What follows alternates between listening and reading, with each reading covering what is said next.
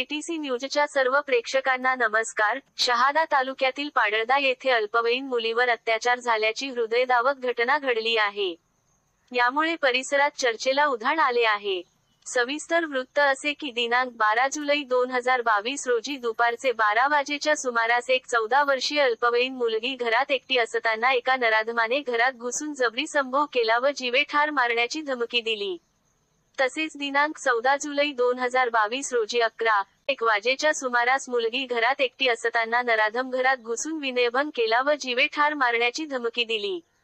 मुलगी अल्पवयीन आहे हे माहीत असताना देखील नराधमाने दोन वेळेस तिच्याशी लैंगिक अत्याचार केला म्हणून संबंधित मुलीने आरोपिता विरुद्ध स्वतः शहादा पोलीस स्टेशन येथे जाऊन फिर्याद दिली आहे.